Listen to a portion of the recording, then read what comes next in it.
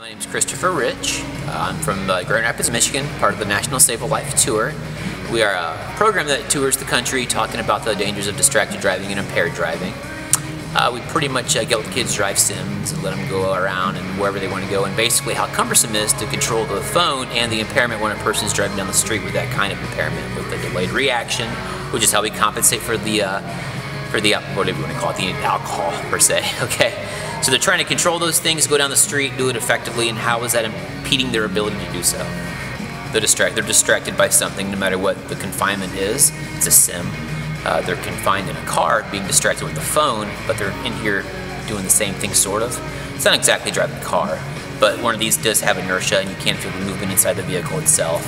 So uh, it's, it's distraction. It, it correlates. It's a uh, poor man's version of a real car. But it does, the same idea, it's the same principle, same concept.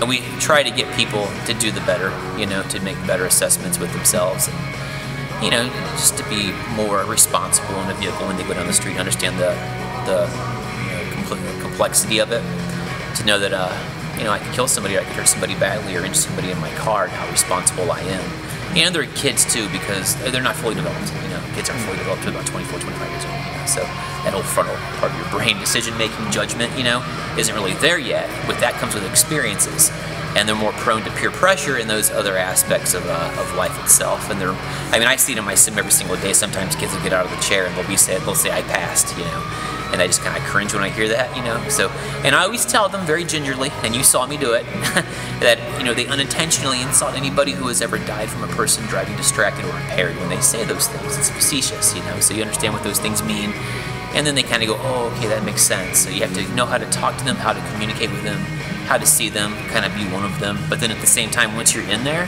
you have to be the adult. You have to get in there and then become the adult and just show them how to grow up properly and what to do right. And then they're just kind of there and they're engaged with you the whole time. That's it's kind of like it's, it's, it's, like liquid gold, you know. So it's hard to do. Uh, each dynamic is different when I go to one school to the other. You have to kind of look at your crowd and understand, you know, what the environment is and how you're going to talk to those kids. So each, each one's different.